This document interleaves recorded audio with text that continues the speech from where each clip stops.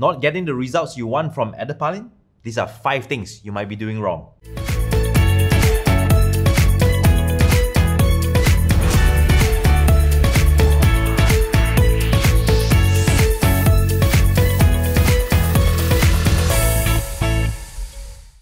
Great day, ladies and gentlemen. I'm Dr. Ingky, your digital skin doctor, and welcome to Skynfyx, Asia's premier platform whereby you can get all your skincare advice. Now, today we'll be highlighting one of the more important ingredients for acne care. The ingredient that we're talking about today is adapalene. A little story of how adapalene works for acne and how you can use it to your advantage. Adapalene is a third generation retinoid means that it helps control acne. Adapalene works three ways. The first way is to reduce the amount of sebum production that your sebaceous glands produce. By reducing the amount of sebum production, we can actually reduce blackheads, whiteheads, sebaceous filaments, and even active acne. Adapalene also helps reduce and shed dead skin cells. That means it helps exfoliate dead skin cells exfoliate the skin, push it away, and then unclog your pores. And the third thing that adapalene works very well is to reduce inflammation. When you have acne, you have those red nasty scars called PIE or PIH scars. And these are generally due to inflammation. So what adapalene does, it helps reduce the amount of redness or the inflammation caused by the active acne.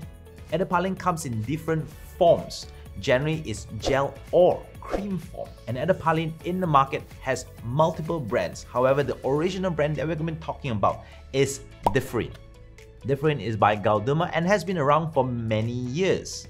And they come in a couple of strengths and the one that we're going to be talking about today is generally the 0.1% which is available in Malaysia. Now no matter how good adapalene works, there are reasons why it's not working for your skin. So here are the top 5 reasons that you might be using your adapalene wrongly.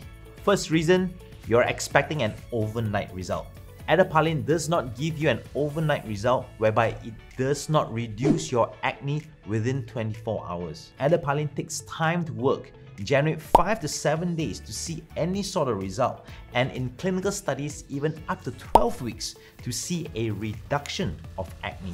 If you're expecting quicker results, you might want to opt for other sort of acne medication such as benzoyl peroxide or even in Malaysia, you get access to Nixoderm. However, benzoyl peroxide and uh, salicylic acid that Nixoderm contains generally will cause a lot of PIH issues. So for the long term, adapalene works much better. Now, if you want a quicker result from your adapalene to reduce that acne at a much quicker pace, you can actually mix it with clindamycin because there is clinical studies that shows a mixture between a clindamycin and an adapalene treatment on your acne actually helps reduce acne much quicker. Another tip is you might want to apply an acne patch 5 to 10 minutes after you've applied your adapalene gel. However, don't expect miracles as adapalene works much slower. Second reason, you might be stopping your adapalene prematurely. Despite having a reduction in acne, you should always continue your adapalene application even if you do not have acne. And this is because a sudden cessation or sudden stop of adapalene can cause a rebound in acne, whereby there is more sebum and at the same time there's more dead skin cells on your skin. So don't be too happy once your acne has reduced by using adapalene because you should always continue using it. There is no harm to continue using adapalene for years and years to control your sebum production. The third reason you're not using the right amount. So what is the right amount of adapalene? Use too little, there is no results. Use too much, gonna cause severe skin irritation. Hence, you should always only apply a pea-size amount. Now, pea-size amount is more than generous for the entire face.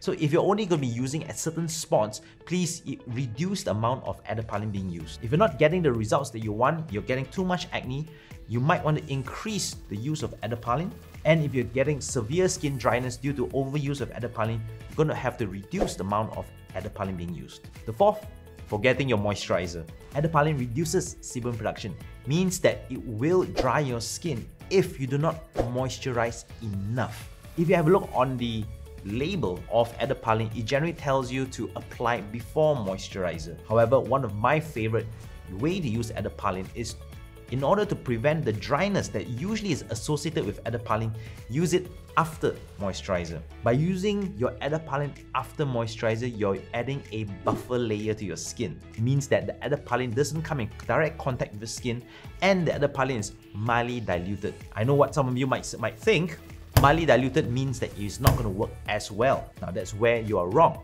Adapalene is not about how much you use, but how consistent you use them. So my tip for everyone is to clean your skin, to apply a thin layer of moisturizer, and then apply Adapalene over the areas which is affected. And the final reason is stopping Adapalene when you're having a purge. Skin purge happens when you use an exfoliating product. Anything like glycolic lactic acid, even to Adapalene can trigger a skin purge. Skin purging is due to the pores being clogged by dead skin cells and the dead skin cells need to come out of the pores. So what happens when you start using Adapalene in some people, you will experience worsening of your acne, aka a little bit of skin purge before your skin gets better. Skin purging can last from anywhere between 2 weeks to 18 weeks. However, during the time of skin purge, please do not stop your Adapalene because continuous use of Adapalene eventually will yield great results. If you're having a skin purge, you can always click on one of our videos up here whereby we teach you on uh, methods on how to reduce skin purging. Alright guys, so there you have it. 5 mistakes that you're doing with Adapalene. If you like this video, please click like, subscribe and as well as comment below and let us know what has Adapalene done for you, whether the good or the bad. If you find this video informative, please forward it to your family or your friends. And until next time, I'm Dr. Ingky, your digital skin doctor, and always remember to stay safe, stay healthy, and most importantly, stay informed. Are you tired of wasting time and money on your skin, but nothing works? We are here to help. Skynfyx is a platform that provides personal care education completely free. Skynfyx is run by skin doctors and skincare experts. You can chat and consult with our skin doctors without ever leaving your home. Other than free advice, Skynfyx also provides tailor-made solutions for your skin problem with customized medical-grade skincare delivered right to your doorstep. Skynfyx, your digital skin doctor.